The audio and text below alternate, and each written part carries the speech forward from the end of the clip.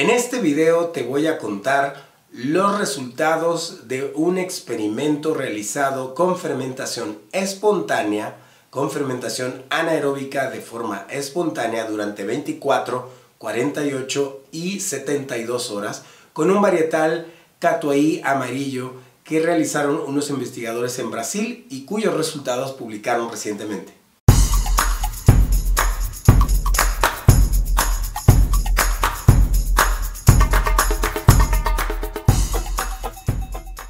Yo soy Alejandro Damián, estás en Conocedor de Café, gracias nuevamente por acompañarnos en este video para cierre de año. Esta investigación es muy interesante por los resultados que arroja es un proceso que se realizó en Curitiba, en el sur de Brasil, con un varietal catuai amarillo.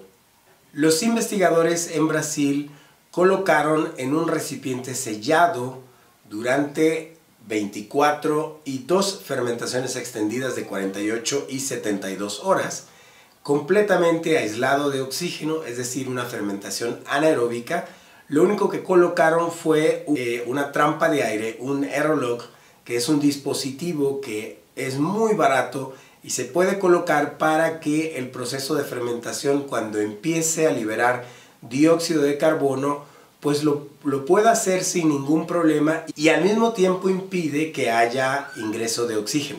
El estudio fue publicado en internet en un enlace que te voy a dejar aquí en los comentarios y se tituló Entendiendo los resultados de la fermentación inducida para la calidad de granos de café. Este es un estudio realizado por la Universidad Federal de Paraná. Los nombres de los investigadores te los vamos a colocar aquí en la, en la pantalla, pero lo más importante fueron sus resultados. ¿Qué hicieron? Colocaron un café lavado durante las etapas que te he comentado no hicieron absolutamente nada, no hubo control ni del proceso de acidez, ni de la temperatura, ninguna otra variable, solo se tomaron muestras cada seis horas durante el tiempo de la fermentación y se analizaron cuál fue la evolución de la población microbiana que tenía cada uno de los tanques de fermentación. Hay que hacer una observación. Los Tres tanques de fermentación estaban divididos al mismo tiempo en tres niveles, alto, medio y bajo. Sí se notó comportamientos muy particulares en el consumo de los azúcares. Uno de los resultados que obtuvieron estos investigadores es que la población microbiana, los microorganismos que se detectaron durante los monitoreos cada seis horas en cada uno de los tanques, no varió y hubo muy poca presencia de las bacterias ácido lácticas y de las bacterias ácido acéticas. Es importante tener en cuenta que los resultados presentados en esta investigación no invitan a una receta para copiar el proceso, pero sí dan algunas orientaciones de lo que nosotros podemos hacer en nuestra finca con nuestros varietales, con nuestros microorganismos y con el terroir que acompaña a cada uno de nuestras parcelas, fincas o donde sea que tienes tu cosecha de café.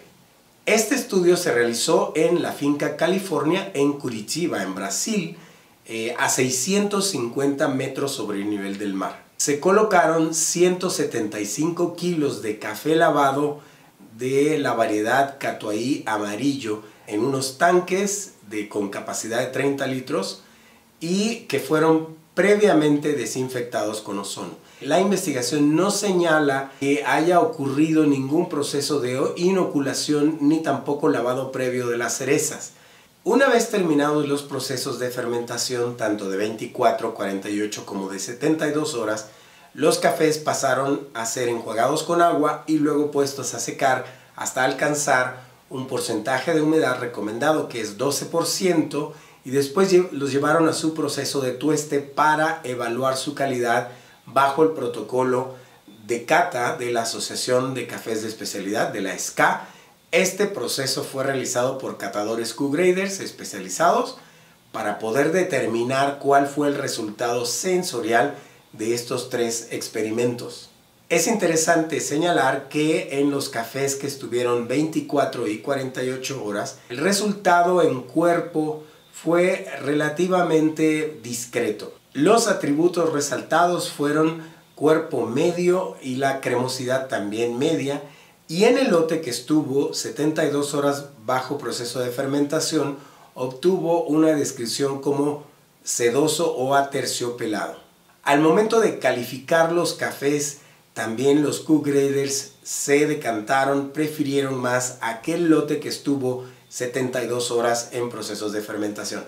El proceso de 24 horas obtuvo 84.12 puntos en la cata que se realizó. El que estuvo 48 horas obtuvo 84.75 puntos. Y el café ganador por parte de los catadores Q-Graders fue el café que estuvo 72 horas bajo proceso de fermentación porque este obtuvo 86.37 puntos. ¿Por qué es interesante estos resultados? Este informe ya está circulando en los especialistas de café de especialidad, sobre todo en América Latina, pero es muy interesante porque esto nos indica que 72 horas pudiera ser un tiempo recomendado para aquellos que están iniciando con la experimentación de café de especialidad.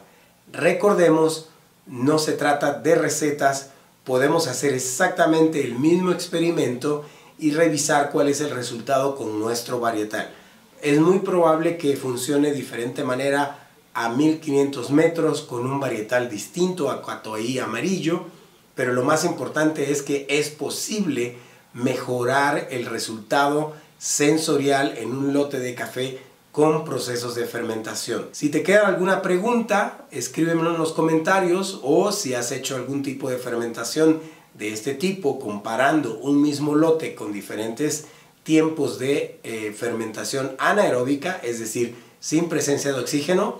Compártenos acá. Y ya para cerrar este año quiero agradecer a ti que nos has acompañado, que has seguido estos videos y que estamos formando y creando y haciendo crecer la comunidad de conocedores de café. Te prometo que el próximo año tengo noticias muy interesantes para compartir con todos ustedes. También vamos a tener contenidos más frecuentes y más interesantes que aporten conocimiento, información, que aporten herramientas para mejorar la calidad de nuestro café de especialidad.